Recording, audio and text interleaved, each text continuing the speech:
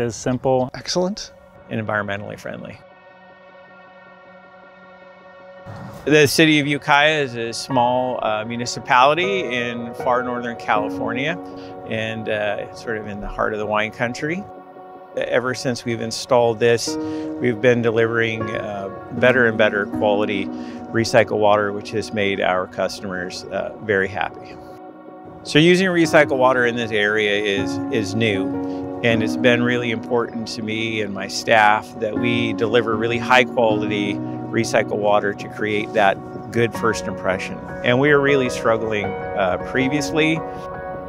Water quality was was really bad. You couldn't see more than two to three feet into the water, and uh, there was algae floating on top of the water as well.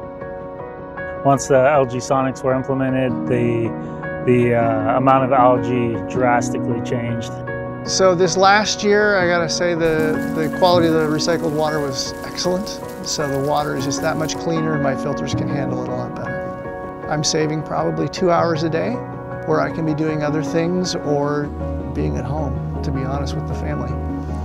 We try and do things as sustainable and as environmentally friendly as possible. I really like the way that the frequency was just targeted specifically to the problematic algae that we had and um, that it wasn't really harmful to any other aquatic life. This is all solar powered, there's no chemicals, and it just sort of fits the overall uh, attitude that's sort of prevalent in our community. I would say that um, the just how easy it is to use this technology has been has been such a critical impact on not only our workers but uh, farmers, everybody. It's just it, it's a great product, and I recommend it to anyone who is looking for an easy solution to combat algae. Tons of people struggle with algae in stored water, especially warm climates like ours.